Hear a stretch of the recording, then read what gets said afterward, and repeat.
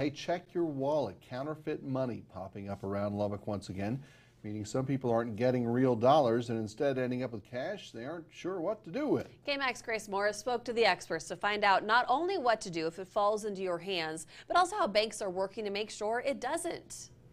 Lauren and Brian, if counterfeit money falls into your hand, City Bank tells me the easiest thing to do is just to take it straight to your bank.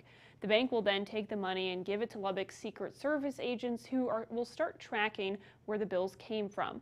But this recent uptick of counterfeit money here in the hub city isn't totally new. But thanks to a special machine at City Bank, some banks say that they're able to catch the fake bills pretty quickly by detecting how strong the bills are and the fibers in the bill, so they can make sure to take them out of circulation as quickly as possible. But they say if you bring in a counterfeit bill, they'll try and help you figure out where it came from.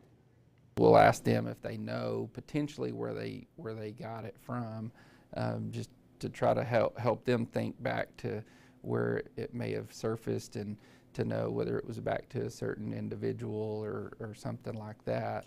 Um, typically, they're they just weren't aware that that they were given a, a counterfeit bill. If they're suspicious of it, I just I just wouldn't accept it. Ayler says most of the time they don't see counterfeit bills under $20. And for businesses, using certain types of markers on the bills or even just taking a second look can help make sure customers aren't giving them counterfeit money.